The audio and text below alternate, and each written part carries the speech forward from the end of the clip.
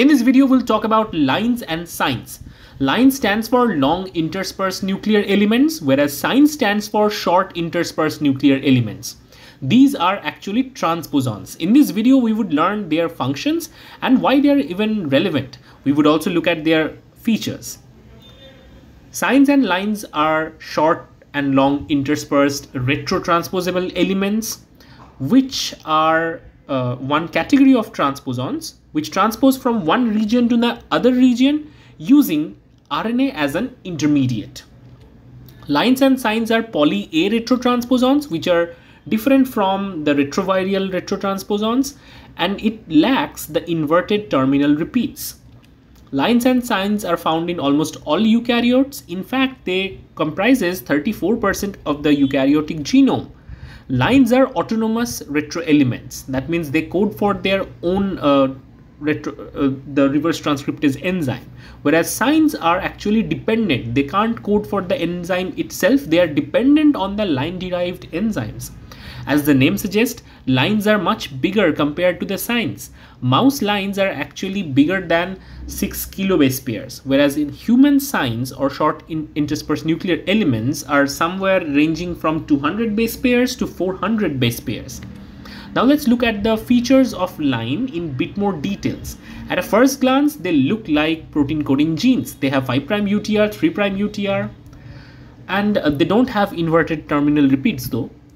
So 5' prime and U, uh, 3' UTRs are adjacent to a poly A uh, site, which is characteristic of any protein coding gene because uh, mRNAs has polyadenylation sites, right?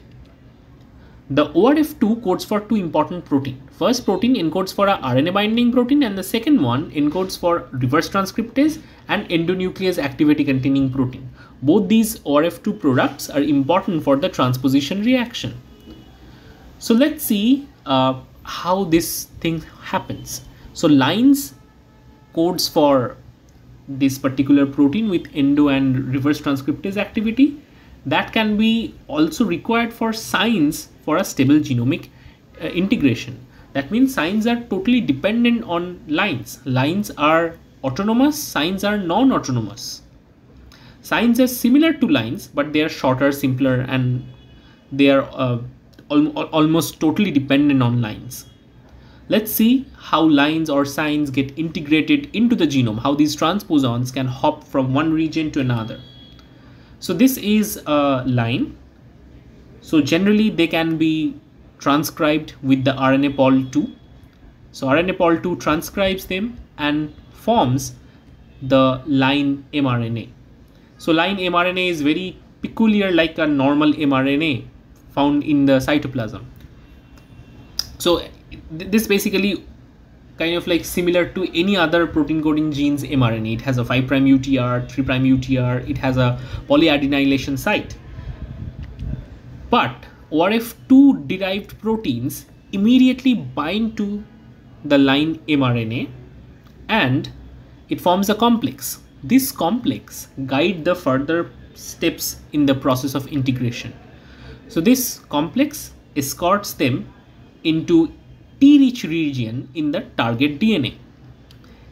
It forms a AT hybrid, so RNA DNA hybrid in the T-rich region Eventually, the first strand synthesis takes place with the help of these reverse transcriptase containing activity, uh, reverse transcriptase activity containing enzyme.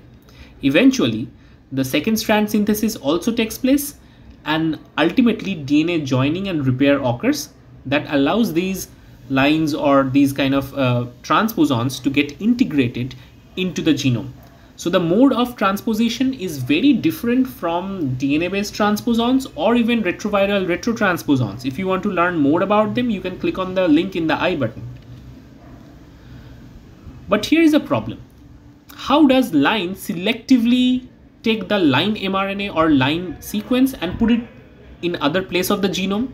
I mean, these mRNA intermediates are very similar and it, it is similar to any random mRNA, let's say mRNA for gene X so how does line make sure it doesn't translocate gene X's mRNA instead of its own? I mean the proteins that are encoded by ORF2 can bind to both these mRNAs in theory. But in real life, it has been found that these ORF2 derived proteins has a higher binding affinity towards line mRNA as soon as they are synthesized. Because there are specific sequences in the line mRNA that brings out that affinity context. And thereby rarely a random transcript is uh, getting integrated into a random region of the genome. It happens it's not totally impossible but the occurrence is really rare so let's talk about the functions of lines and sines. Like any other transposons, they can regulate plethora of things. It can have mutagenic effect. So basically it can hop into a particular or, or ORF of a particular gene and disrupt that gene. That's possible. There could be epigenetic silencing of a particular gene. These lines can also be a site for long non-coding RNA. Recent research suggests that. They can also act like an enhancer, thereby regulating the gene expression. Especially sines are known for their roles in gene expression and modulating them. So I hope that was useful. If you like this video, give it a quick thumbs up. Don't forget to like, share and subscribe. You can get the notes in my Facebook page. Follow us on Instagram. Support us via super thanks and see you in next video.